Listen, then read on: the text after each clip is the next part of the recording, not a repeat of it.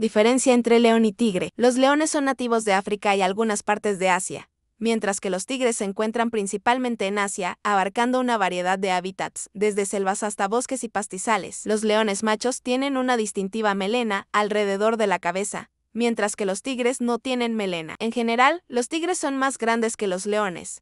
Los tigres suelen tener un pelaje más espeso y largo, adaptado a su hábitat más frío en comparación con la melena corta de los leones. Los leones son más sociales y viven en grupos llamados manadas, mientras que los tigres son solitarios y son conocidos por ser territoriales, estableciendo y defendiendo grandes áreas. Los leones a menudo cazan en grupo, mientras que los tigres son cazadores solitarios.